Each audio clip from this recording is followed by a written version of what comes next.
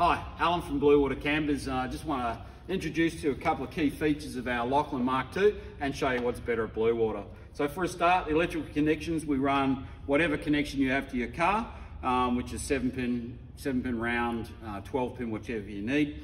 They're also connected directly to our 12 inch electric off-road brakes camper.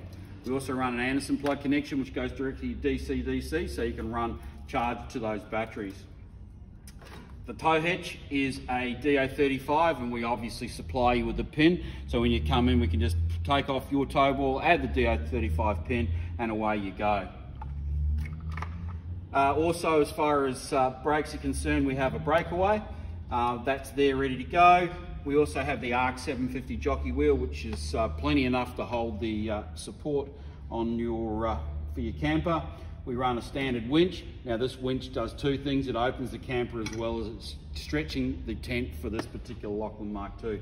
We run a water tap on the front. We run rated safety chains and D-shackles on the front. So uh, away we go. So uh, there you go.